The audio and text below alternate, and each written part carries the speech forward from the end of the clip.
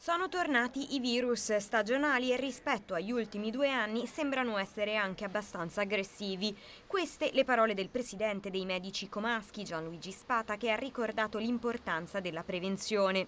Da oggi i cittadini lombardi over 60 potranno rivolgersi al proprio medico di medicina generale per la somministrazione del vaccino antinfluenzale.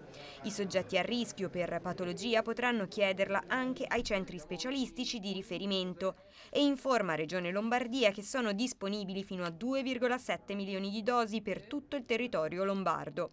Tutti gli altri cittadini invece per i quali la vaccinazione antinfluenzale è raccomandata e offerta gratuitamente, a partire dal 18 ottobre potranno prenotare l'appuntamento per il vaccino presso una ASST o una farmacia attraverso la piattaforma online regionale.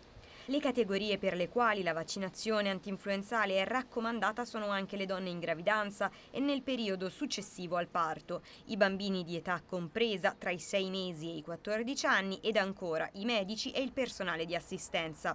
Proprio perché l'influenza quest'anno con ogni probabilità si diffonderà durante una nuova ondata di Covid, i vaccini antinfluenzali possono essere co-somministrati nella stessa seduta oppure a qualunque distanza temporale con tutti gli altri vaccini, compresi quelli anti-Covid.